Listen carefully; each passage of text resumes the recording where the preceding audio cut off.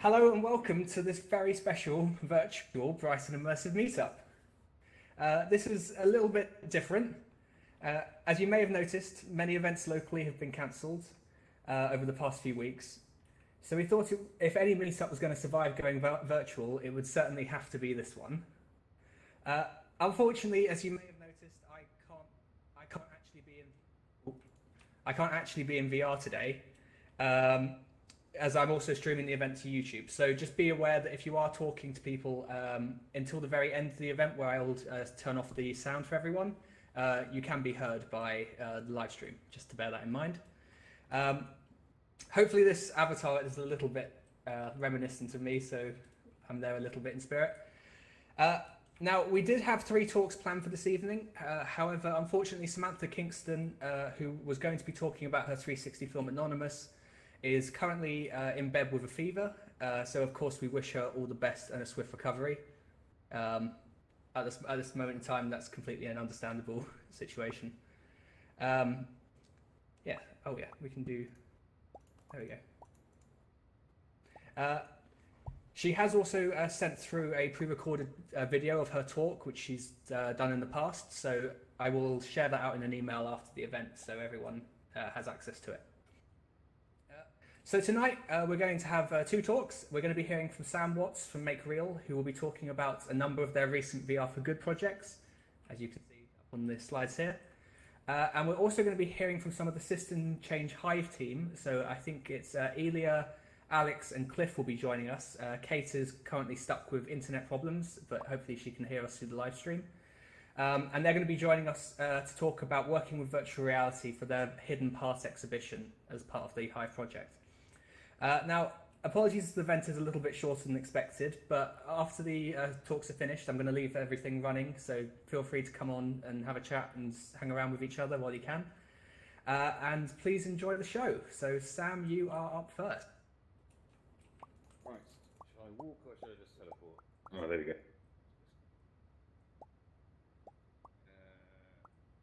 Uh, amplify my voice. Can everybody hear me okay?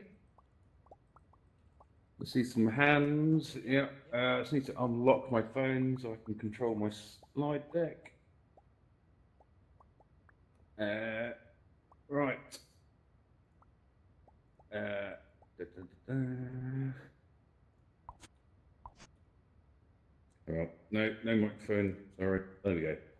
Uh, so, my name's Sam Watts, as you know, many of you know, um, and we're actually going to be talking about some stuff that we've done with local charities in the Brighton and Hove area uh, today rather than uh, the more commercial work. Uh, hopefully, I can see my phone. Hang on, sorry. And we'll get the first, there we go, um, the good old headshots. Um, I'm using slides.com, so I can't get rid of that face in the corner. Um, hopefully, it's not actually then going to overlay any of my text.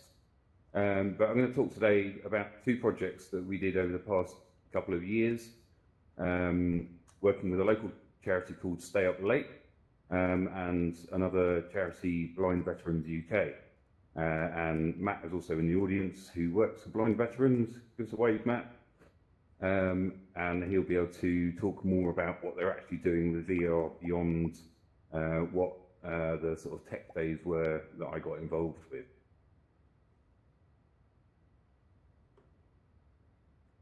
So, that count? No.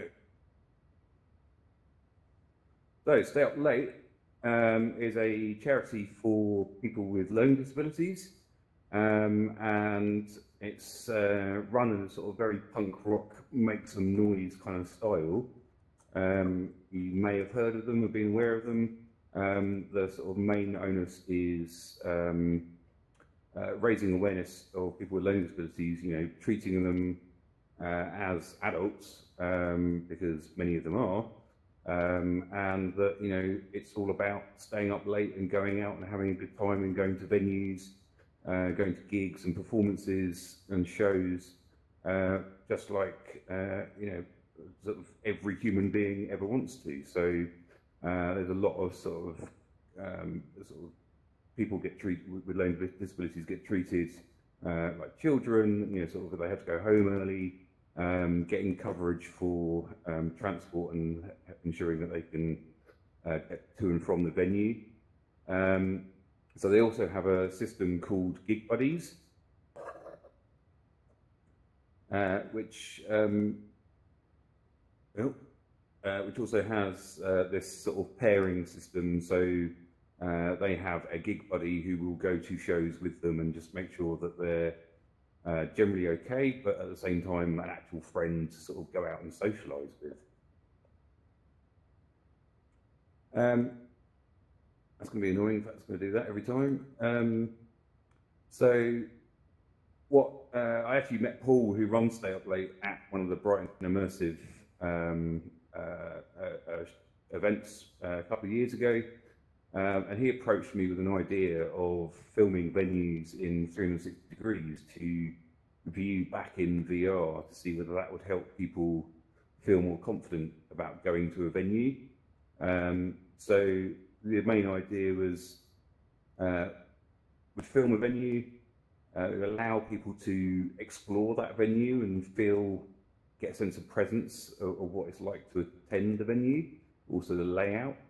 Um, but he wanted to, you know, uh, he approached me initially to sort of help him with sort of writing funding documents so that he could uh, hopefully um, get a, a, small amount of money to buy some equipment and do some trial runs. Um, and then also, you know, which venues were actually uh, willing to, to allow us to go and film in. Unfortunately, um, even though we were only asking for um, a small amount of money in the grander scheme of things, um, uh, we, uh, many of the funding bids were, were rejected. Um, and, you know, we are talking like three figures here, a couple of hundred quid, just for like a Gear 360 camera. Um, uh, but he, we, we, weren't able to get any money for it. So um, we decided that as part of our Make Real sort of VR for Good and sort of charity sort of uh, percentage of, of work that we can do each year, uh, that we would go and uh, support him with some of our own equipment and, and our time.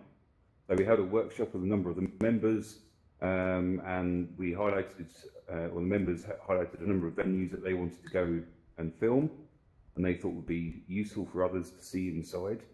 Um, and then we set about doing some test filming. And then just at the last minute, um, I read about the Google Daydream Impact program uh, where you could apply for access to a Google Jump camera, uh, which is this beast, uh, uh which arrived in the studio just in time. And it's 16 GoPros strapped together um, uh, called a, a, a, an Odyssey rig, um, and they're all networked together to sync. Um, and we ended up lugging this around um, to film the venues in. And I think it creates something like a 15k uh, video, um, which then gets stitched together and uploaded to the Google Cloud. Uh, the jump assembler stitches all the 16 camera output together and then sends you a massive file back. Um, a couple of years ago, 16K was very impressive for 360 camera. Since then, we've got things like the Insta Pro 2 and the Insta Titan, which do similar event, uh, uh, uh, resolutions for uh, a much smaller setup. Um, so we we um, decided to go along and film each venue. What we wanted to do was film empty shots um, you know, our experience of putting people into VR, people need time to acclimatise who aren't used to it. Uh, so we, we filmed a number of, of empty shots so people just get a sense of what it felt like, what the space felt like, what the layout was. So, um, you know, where the exit are, where the toilet are, um, where the stage is, where the bar is, importantly, um, and sort of how to navigate around the building. And then we filmed later on uh, a, a, a live version um, with all the audio and all the ambiance and all the actual sort of sensation of being there.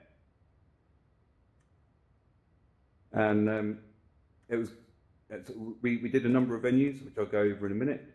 Um, but just like lots of little things happened along the way. So this is uh, another Sam um, in the foreground there, uh, one of the members. Um, he's a big gamer. He went he wanted to go and film down at um, what is now called Loading Bar, which was SideQuest at the time, and it just happened to be develop uh, Brighton, which is the big uh, annual game developers conference. Um, and Imre, who runs Bossa Studios, um, I spotted him and I asked, I asked Sam previously uh, what was his favourite game, and he said Surgeon Simulator. So um, I asked Imre if he'd mind coming over just to say hello to Sam and uh, speak to him about working in the games industry. Um, and I thought, you know, he's a busy man, uh, but he actually ended up, uh, they ended up chatting for about half an hour. And, um, Sam was absolutely made up um, as a result and sort of highlights it as sort of a key moment. Um, and then also um, filming the Komedia, um, Chris, who was one of the one of the other members, who, if you actually go and watch the films, I'll put the link up in a bit. Um, he is a real comedian and a real character, and actually getting to stand up and be on stage at the uh, at the Komedia and sort of do like a comedy uh, uh, slot, you know, really sort of gave him a lot of uh, uh, sort of great great times. and then right towards the end, um, because it was a Google Daydream project, Google actually then reached out and they wanted to come and film a documentary about it. Um, so they followed one of the uh, one of the members and filmed like a day in the life uh, documentary about the experience of him. Um, uh, actually, he lives in Lewes, so they went around Lewes, um, and then him watching uh, the 360 video. Um, they filmed us filming the video, um, and then sort of through the, the, the magic of, of film editing, that film that we'd just shot was then magically on the headset. Um, and then through him watching, they then followed him to an event and sort of how he actually benefited from from watching the video and knowing more about the venue and sort of having his his reservations calmed as a result. Unfortunately, shortly after that, uh, Google fell, fell out of love with uh, Daydream um, and VR support, um, having removed it from their Pixel phones. So the documentary is lying on a edit floor somewhere, um, and we've never actually ever seen it, and I can't actually get it out of them. So yeah, it's quite sad to sort of have all this effort just sat there, not actually being seen anywhere. So um, you can get the outcomes. So you know, there's six videos in, in total. We only had a set time of uh, with the camera, um, but there's six uh, 360 degree films. They're not actually, you know, the most. They're not the most interesting films to watch because they are just of a location. Um, but the purpose is, is that it gets you gives you a sense of what it's like to go to the venue. Um, and we've seen, you know, we've had feedback from other people. It's not just the the stay up late um, members. It's um, uh, people with, with, many other sort of neurodiverse um, uh, uh, uh um, psychologies as well. So it's benefited, you know, a huge number of people. So uh, there's two links there. You've got the 360 YouTube videos, and you've also got the uh, 360 Google Poly uploads, which have additional information in them as well. And then, um, oh, so just a couple of shots. So we managed to do the dome. Um, Brighton Centre. Uh, we unfortunately weren't allowed to actually film the live show at Brighton Centre. Um, it was League of Gentlemen live, so we were able to film the audience filling up, but then we had to turn the camera off. Uh, the Komedia, um, which uh, again, we sort of took sort of advantage of, sort of trying to do a bit of storytelling. We got Chris um, buying tickets and behind the mixing booth and a few other shots that you wouldn't normally be able to get to. Uh, the old market is actually where we started, um, and uh, there was a, a comedy, a, a, Finnish comedy opera being shown at the time. Um, so I removed myself from the audience at that point. Um, and then lastly, uh, the Concorde 2, which was the uh, BIMM musical uh, uh college, uh, their sort of Battle of the Bands night when we were filming. and oh, and sorry, and SideQuest. So on to the other one, which is Blind Veterans. Um, I think it was at, also at a uh, VR Brighton Brighton Immersive meetup that Matt approached us to um, come along and do a talk at the Blind Veterans uh, Tech Week um, a couple of years ago, and um, uh, bring along some gear and do a little presentation about VR. Um, you know, veterans in the, you know ex-service personnel. A lot of them are very technical. A lot of them have worked on uh, military simulators, and they've sort of seen the the, the, the forefathers of, of, the equipment of what we're all using today. So many of them had an interest in it, um, and uh, also sort of take along some headsets and do a demonstration. Now, of course, my first thought, like most people, was, what? Put blind people in VR? I mean, there's obviously there's many things that don't make a lot of sense in that particular sentence. Um, but you know, we went through with it, and curiosity um, had to be sort of fulfilled. Um, so to start off with, we had the Vive, um, which, uh, as many of you know, is a tethered headset. Um, had to lug a big PC up, um, and I thought that the blue, the whale experience would be the most suitable uh, one to do because it's short. Um, you can control it, you can manage it. Um, it can be done seated. Uh, there's minimal interaction, so people didn't need to worry about controllers. Um, it gives you a good sense of awe and the scale. Um, it's you know audio, it's visual as well as audio and uh, you know it gives you that sort of wow moment at the end with uh, with, with the whale. Um, and so after doing my talk, um, we, we we sort of asked the first willing volunteers come up and try it, and didn't know at all at that point how what was going to happen. Um, but yeah, of have to bear in mind that whilst it's blind veterans, you know, they have a degree of of, of uh, partial sightedness all the way through to full blindness. But the shocking thing was is that most people, or, or many of them, um, actually, uh, you know, they could actually see better in VR than what they could do uh, in the real world. Uh, unfortunately, my face is covering the disclaimer there that you know it's not a guaranteed 100% success rate, um, which you know we made it very clear to the to the members that um, you know, uh, to, to be prepared to uh, still not be able to experience what somebody else uh, has experienced in terms of the clarity. But you know, it's more kind of like why is why does it work? Uh, somebody who has to be guided over in the real world to a chair uh, with sticks um, and sort of told where the chair is so they can sit down. Um, you know, much like you or I do when we're wearing a headset and we're standing and trying to find a seat um, uh, uh, in the real world. Um, suddenly putting a headset on them, they were up and around chasing fish about from the smallest ones to you know being able to poke the, the, the whale in the eye. It was amazing, um, and it's the you know it's, it's, it's been the most memorable, moving, sort of valid use of VR and sort of demo that I've ever done.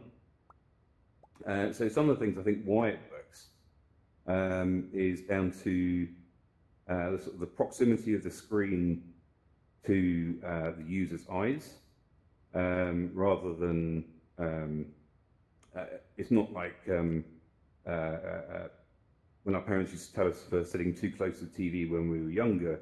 Um, when you're in VR, your eyes focus at infinity, so you look through the screen rather than at the actual um, uh, physical plane. Um, and then with the brightness and the contrast of the screen combined with the magnification of the lenses, uh, it seems to help sort of combat and work around some of the uh, sort of visual impairment uh, issues that, that, that, some of the members had. As I say, it didn't work for everyone. Some didn't get didn't see a, a single thing, or didn't have any sort of real improvement. Um, but due to the sort of binaural and um, uh, the, the, the, the 360 surround audio, they still have got a sense of immersion and presence uh, by just having the headset and the headphones on. They, they could tell where they were and they could follow tr and track uh, fish around them. Um, so I went back um, uh, for, for their second tech week, and uh, by then we had the Vive Pro and uh, the wireless headset. Uh, so you know, one of the health and safety risks had been removed, is in the tether and the cable, um, and the, the massive trip hazard. Um, and we did a blue again, but then uh, after losing focus uh, for and being um, in competition with tea and biscuits, uh, we came back for some uh, tilt brush. And uh, Ken came up um, to have a go at tilt brush and ended up drawing this amazing scene of Mickey Mouse playing uh, in a sort of garden of flowers. Um, unfortunately, my mug there is covering up the bit.ly link that I did. Then I've put up uh, that links to the Blind Veterans UK story uh, about Ken, because uh, he's quite a character. Um, but it's uh, uh, BV UK Ken, which is a bit.ly link, um, which you can go and watch the, the video. And then recently we went back again with the Oculus Quest, uh, so no more tethers, um, no more PCs, no more extra equipment, um, just being able to put headsets on people and get straight in, straight on uh, uh, with VR. Um, and unfortunately, I felt like a bit of a Tupperware salesman because everyone wanted to buy them straight away, but uh, I'm not an official uh, reseller of Oculus hardware, so I was unable to do so. Um, but it just goes to show that even over a couple of years, the advancing technology uh, has sort of vastly improved usability for, for all kinds of users. Um, my concerns now as we move forward with eye tracking and more headsets that start to replicate uh, how how uh, eyes work and sort of more in the real world are these elements that allows VR to work for people now is that are they going to fade away um, and then are, are the, the, the veteran members actually going to struggle with, with VR moving forward. So Matt has gone out and got a, a number of units of you know headsets we know work today. Um, and then finally, sort of, um, you can ask Matt afterwards about in terms of what they're doing with VR, but they have a number of Vives and Quests set up. Um, I've been reaching out to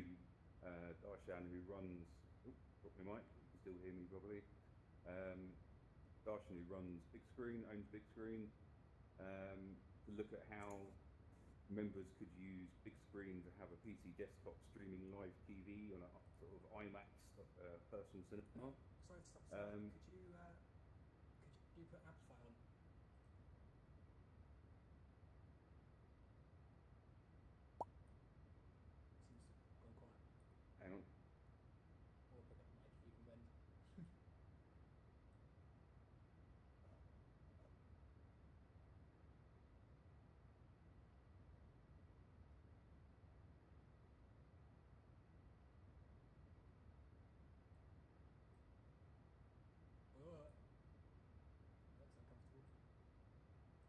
Sorry.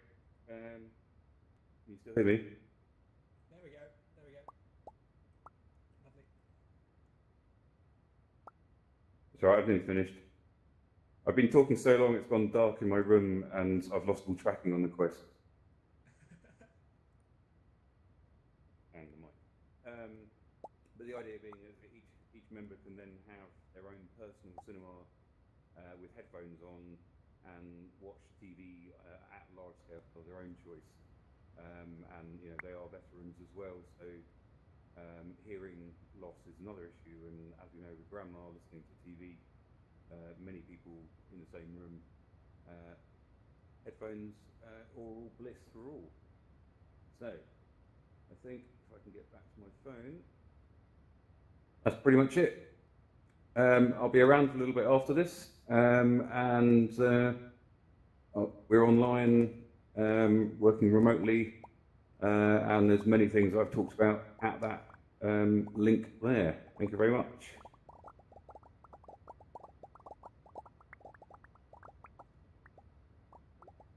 Thank you very much, Sam. I've actually unmuted everyone so they can say thank you in person. Thank you. There we go, yeah. Thank you. Nice one, Sam. Thank you. Excellent. Uh, so I'm just going to uh, hold for a couple of minutes while I get the next talk set up. So I'm going to leave the mics unmuted so you can all talk. Uh, but just please bear in mind that this is live on YouTube. Good morning.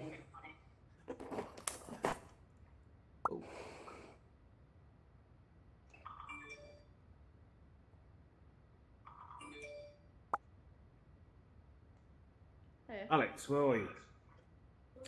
Down here. Wave. Oh, there you are. Hi.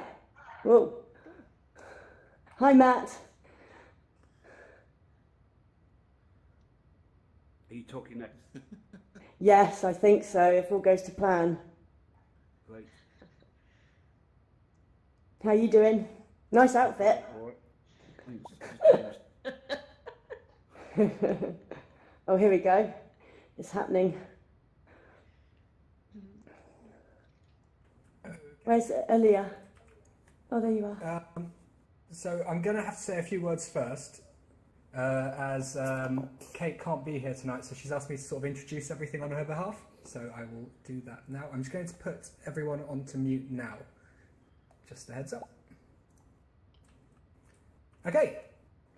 Uh, so what Kate wants me to say is, uh, the System Change Hive is a community art collective set up by Swarm Dynamics, dedicated to sharing knowledge about the futures based on well-being and systems change. They created the exhibition Hidden Paths for the ONCA Gallery in Brighton, and the group is made up of emerging and established artists working with researchers, communications experts, VR technologists, and local community groups. Working with Andy Baker, who is here tonight. Andy, do you want to wave? Uh, yeah, there we go, he's at the back. Uh, working with Andy Baker at the Fusebox in Wired Sussex, uh, they created a virtual museum to reveal hidden paths to brighter, fairer, and more sustainable futures. A group of artists created a spacious world of colour and poetry together and recorded real world activists speaking about the future that they wanted to see.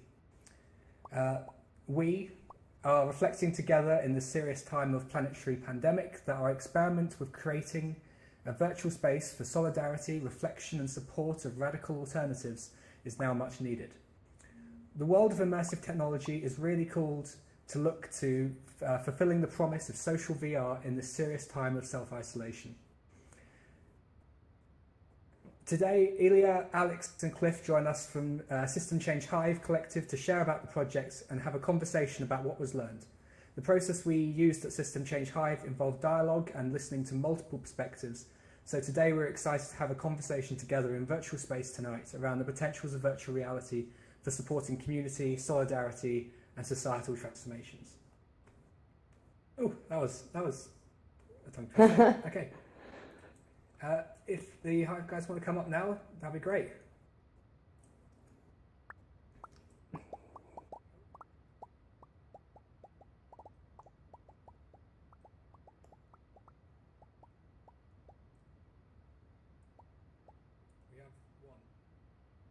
Where is everybody?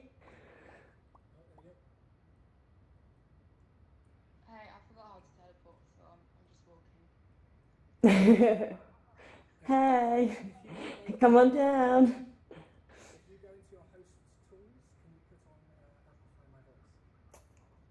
Yeah, there we go Where's host's We might have to start without him and see see where he where he comes.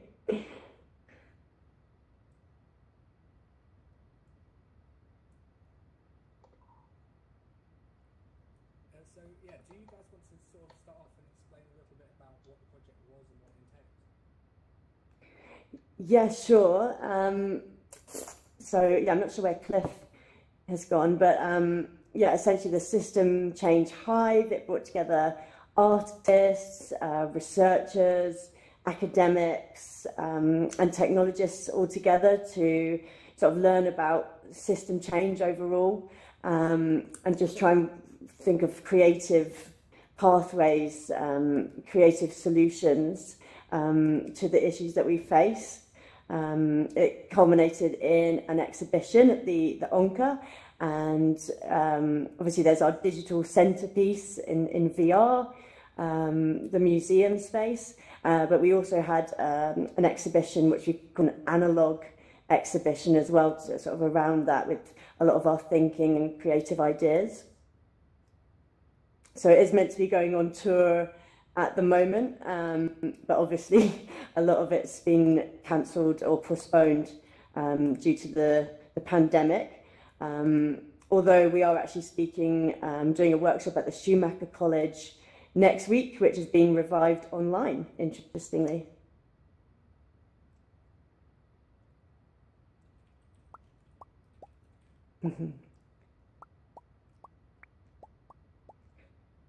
Yeah, cool. Um, yeah, system change. Yeah. We had like a million lectures uh, before we, we kind of got going with the creative, so it was a lot of um, a lot of thinking and sharing ideas and things like this. Um, is Cliff coming? I don't know. Should we just go ahead, just us? Yeah. Yeah. sort of want to sort of, you know, discuss with each other about the whole process as well. Um, and also actually sort of explain what the virtual reality experience looks like and what it, what it entails. Okay. Um, do you want me to do? I can explain a, bit, a little bit what it was like. Basically, we, we Yeah. made a museum, um, a museum of like the future, and in that museum there was lots of objects that um, that belong to like the present world that we we we wish wouldn't exist in the future, sort of thing. Um, so I think we talked a lot about like uh, industrial pr- uh, production of like clothing, um, like money in general as like a concept, um, kind of like brainless addictions to to like well not addictions just like the way some people use technology in a way that isn't really like critical for example. Um, I forgot what the rest of the objects were but there was like a few objects like this inside it wasn't interactive or anything it was it was kind of like a passive experience. Um, and then it kind of walked into a, another where you, you were like on a you were on a on a rail track so you went through the museum on a rail track and you could see these glass boxes with the objects inside and then you, you arrived in another room uh, which had like more of the, the kind of process that we went through as a collective of, of artists um, and and the uh, and the work that other people had done that were in the analog kind of like paintings and photography and things like this that were put into the inside the, the museum that were kind of like testimonies of, of kind of the research and the exploration of these themes that we that we looked at throughout like we had lots of like anthropologists and economists coming to talk to us um, over 12 weeks um, yeah, and then there was an audio. Uh, there was quite a lot going on. There was also like an audio track with voices of three different activists that uh, me and Kate contacted that all work in environmental activism all around the world, and we had them. Um, we had them writing down a little like kind of poetic, poetic prose um, of what they they want to see accomplished in the world. And so we had someone working with um, with rights of water, um, kind of get, getting legal rights for water. We had someone working with uh, community building around trans activism, uh, like an anarchism, I suppose. And then there was a, a woman working from, um, which yeah, I don't really know how to explain this. Kate would be better at it, but we had like three women uh, and their voices in the in the museum. So yeah, I think that's that's pretty much it. Do you have anything else to say, Kate? I, it might be a good idea. I'm going to unmute the mics and uh, let people ask some questions as well. if Anyone has one? Great, We yeah. have questions for each other as well. I should add as well that the the uh, because uh, Kate was the one who created this. Uh, amplify. Because Kate was the one who created the slides, uh, we can't actually advance past the first slide at the minute. So um, Oh, no. this is just what we're going to be looking at at the minute. Just because Okay. people have asked. Uh, but yeah, if anyone in the audience would like to ask a question, I'm going to um, open the microphones up now and let people ask. Hello, everyone. uh, Mr. P.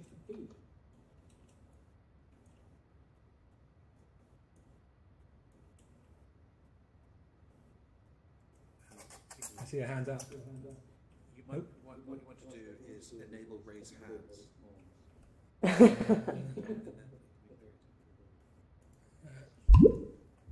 there we go. Ah. If you want to ask a question, click on raise hand, and then Chris, if you'd like to um, megaphone them. Ah, there we go. So,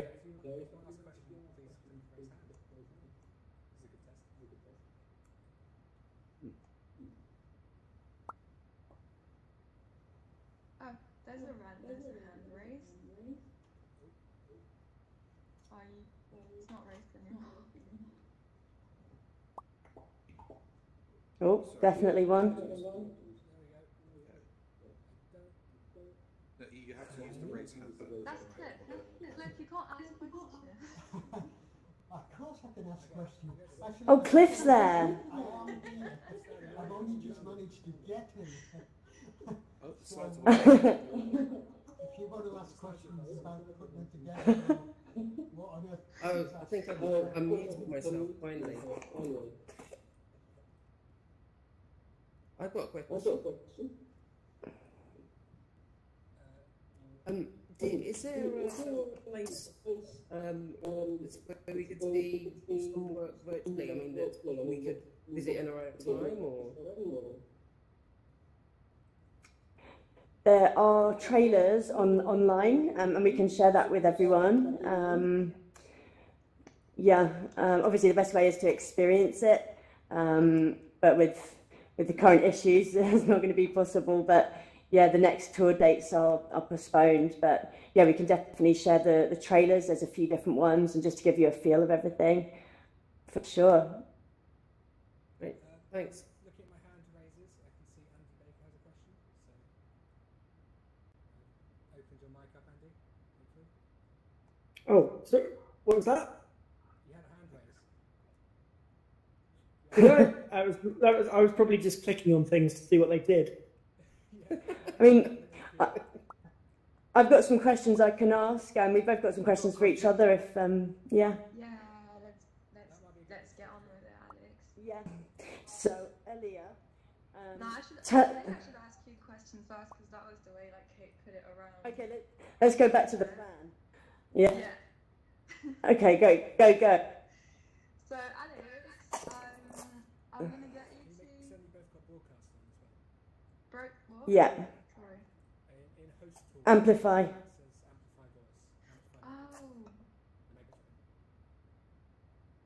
Cool. There we go. Yes. Awesome. Um, so, Alex, uh, I was, uh, um, I, can you tell us uh, about the experience at the Hive in general and what it was like to use virtual reality as a tool to consider ideas around systems change? And maybe you can give like a quick description of what systems change mean because it's a bit complex. So yeah, let's start off with with that as it's pretty important. Um, so obviously, to tackle the issues we have around climate change, um, it's required to sort of change the systems around it um, because ultimately that's what the problem is. So that's what we sort of went into great detail in, in the system change hive um, and just learning about the current models and then also different models of, of living that are already in place around the world. So things like the gift society, where people become richer the more that they give, and how might that change society in in the West? Um, if you know, rather than just hoarding all of your money like the you know the richest people in the world, if if you were rich by the amount that you gave, how would that affect homelessness, for example? So we we discovered all of these, you know, amazing different ways of living that are already happening. Um, but it was also quite frustrating as well and a bit traumatic to learn about all these these different ways. But there's no one sort of um, solution for mass society, and it's almost impossible for one one group to to sort of dictate this is the one solution that fits all. Um, so I think that's what's really interesting about the this project and the VR is it's that taking what we've learned, taking this exploratory space to the public for them to then experience what we did and to just have that space, that freedom to imagine how things could be different. Um, so that's I'm, i was lucky enough to take the, the, the experience to Warwick Change Festival um, and just getting members of the public to, to experience it. And I think, you know, what, what comes out of that, that next stage, that's what's going to be really interesting and where we might come up with, you know, the real solutions collectively.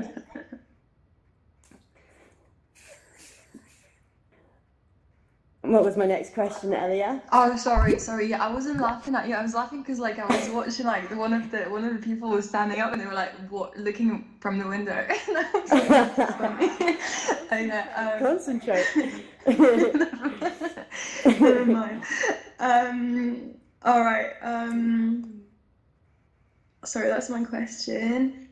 Yeah, no, it was really challenging. It was really interesting. Um, so, and how does this?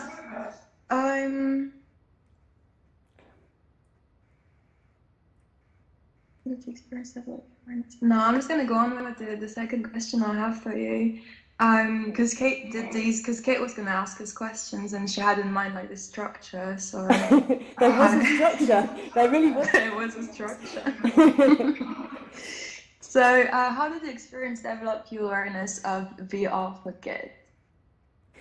Yeah, it really opened up my eyes. Um, I've been studying at, at, Brighton, doing a master's in, in digital media arts. Um, and in the beginning, I, I, wasn't really that into to VR. But then through through doing the System Hive project, I've, I've realised, you know, what a powerful tool it is.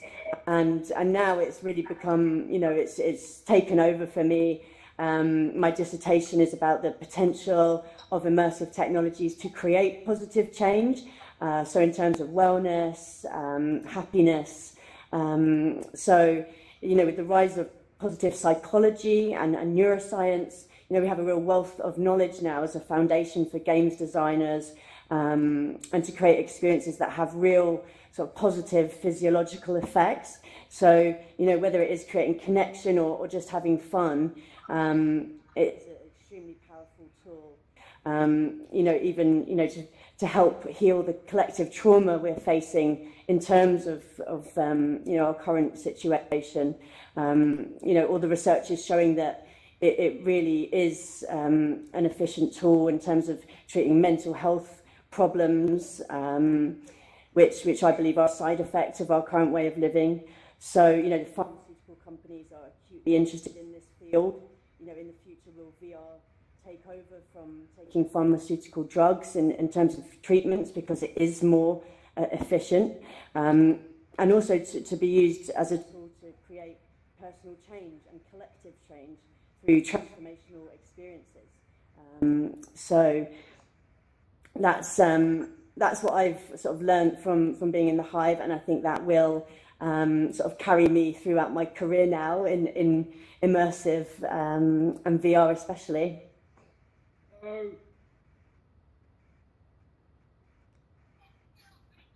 Are you ready? I'm having a meeting with VR. Ah, we've just got a couple more questions, Chris, um, for Elia. Yeah, so Elia, uh, tell us about the process of recording future testimonies with activists for the Museum of the Future, and, and why were you so excited to get Otter involved? Yeah, cool. So originally, like, uh, we were gonna write an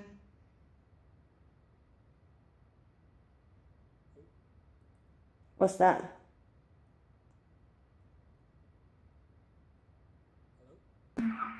Hey, sorry, I don't know. I got. Um, I think I muted myself. Um, um obviously not on purpose. Uh, just as I started to talk, so I'm just gonna start again. Um, yeah, originally we were gonna have like a fiction fiction narratives. We were gonna write write characters that would kind of testify of this new world, and we wanted to sort of like be in the future or someone coming to talk to us from the future, sort of to be a bit like hopeful and try to make a narrative that isn't all gloomy and dark. Like a lot of the times when we think about climate change, like we're really powerless. Um, so we really wanted to to give a well like to have agency as like one of the main things um, and I think we're like quite successful at that actually because it wasn't like a gloomy experience at all.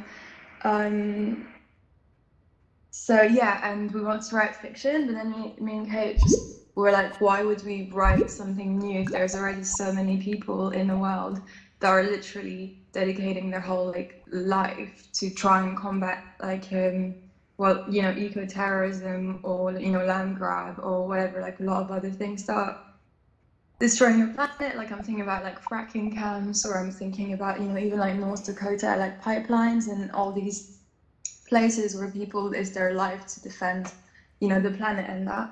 So so i wanted to bring otter um, because throughout the project i was thinking about her book a lot so otter is a, is an, a writer from from brighton actually i mean she studied ecology in um, in sussex university and a lot of her book is inspired by like the wildlife around Brighton. So there's a lot of like net nettles and starlings and kind of like ways of relating with the world like that. So I wanted to bring her because the way she thinks about the struggle around climate change, she doesn't think about it like there's a before and an after, like there's a fight that's going to be won or something. It's like a struggle, like a perpetual struggle. So it's like an everyday life kind of thing.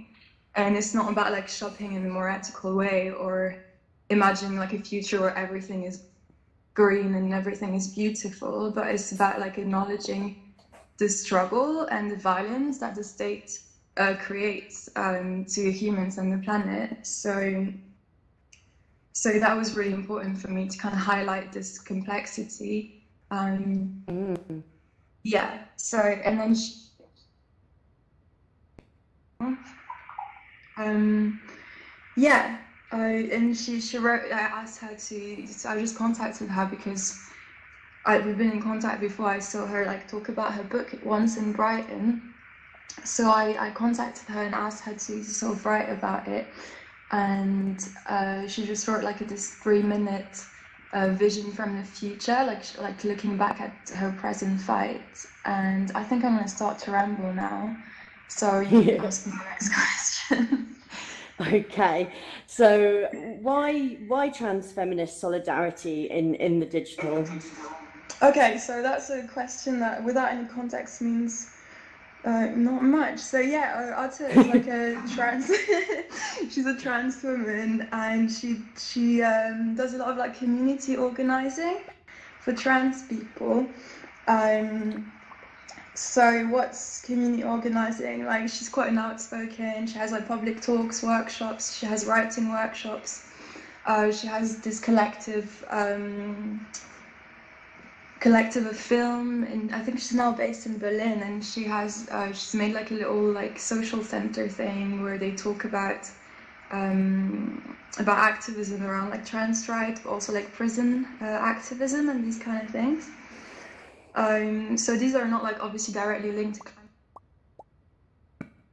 these are not linked to climate change but they're symptoms of like the same illness of the way like society is basically like treating people Mm. um, so so yeah, and I think like her intersections and the way she like, I don't know, I in some way I feel like her trans identity or like is it, it kind of enables people to see like more complexity around the world as well. You know, it's not like everything's black and white. Um, so yeah, and in the digital is because I think um, like one of the main thing that came to when we were doing systems change is like the need for space. Like we need space to be able to organize, but space is like political because space is expensive and you can't, you know, it's very hard to just get a place if you want to organize. So this is why like it's taken a big um, a big liking to online because you can outreach to as many people as possible and you know you just need to google it and you can find ways to connect with other people and you can find other people that share the same experiences and it literally costs nothing whereas like physical space is really really difficult to get a hold of so so yeah that's that's that's what i'm saying about this Great, great. And just this is a really interesting one. You were originally skeptical about VR, and you were one of the sort of main critical voices in the group, sort of raising questions about the tech. So, did working as the, at the Hive sort of change your perspectives? Yeah, it's funny that uh, Kate said that because I, I, I don't remember being that, but I guess I. I remember Uh, a little bit. Yeah, I think it was like skepticism is like a, a good a good word for it because um because yeah, I probably was. Let me just find my notes. Um Oh, okay. So I think originally I was just kind of like just generally like why would we use technology in general when we want to talk about climate change because it just to me it felt a bit counterintuitive uh, because of like probably for like ethical reasons like how it's sourced you know like if you want to think about climate change you want to think about the way where things are coming from and so when you think about technology obviously you have no idea where it's actually coming from like there's no way to know how it's actually assembled so I was a little bit like, hmm, how can you like, how these contradictions, you know, how they come together. Um, but then, then that's the case for like literally everything. Like, you can't actually be that. Enough. Yeah, you can't be that that skeptical about it because literally like every other thing is like that. But then I was like, okay, every other thing is like this, but this is not like a necessity. Like you don't need VR, you know. So, well, I didn't think we did, but then I found out that actually there's like a huge community around it, which I thought was really cool. Like I went to uh, Presuming It and then I came to the Fusebox and I thought just how much like it gets people together at the same time, even though it's like a tool that is experienced to learn and stuff. And then I found out you can actually experience it with other people. And also like um it kind of gave us a reason at um at the, the exhibition to actually like dialogue with other people because when you have like an Mm. experience in VR then you, you instantly just want to talk about it or you instantly want to ask someone like how it was because it's like such an intense experience that you just want to talk about it. So that actually connects people as well even though it's like not an an experience where you like can experience it together. So I thought that was really cool. Yeah. Totally agree, Yeah. and it's been Yeah. amazing watching, taking it on tour and watching, you know, parents experiencing it, and then their children experiencing it. Um, you know, people on their own, people of all ages, um, and what their reactions are, and yeah, it's just amazing to see. So, Yeah, yeah, exactly. And like a friend of mine was telling me like actually she was much more open to like these new ideas when she was in VR because she was not in her she didn't have like her frame of reference that she does in you know if she was if she wasn't if she was just seeing like her own perspective. So she had like given up already that kind of like judgment or that frame of reference that you had. Like there's a part of you that you give up when you when you get when you go in VR and so you, she said she was Mm. becoming more open to like new ideas which Exactly. which is like kind of cool. Yeah. So but at the same time you don't want to be dependent on that to get new ideas. But anyway. Yeah. yeah Okay, I don't know how we're doing for time, but um, maybe Cliff, um, did you have something prepared?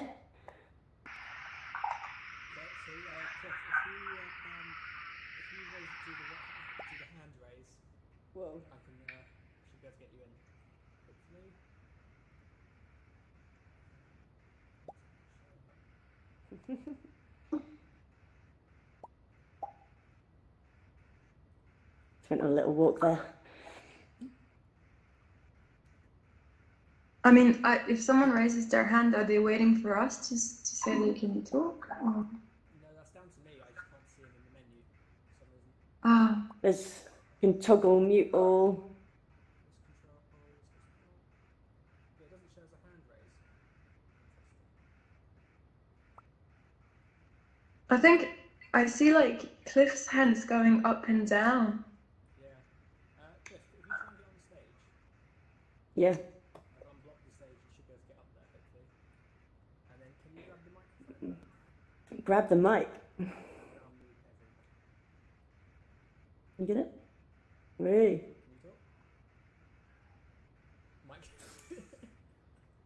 Oh, mic drop.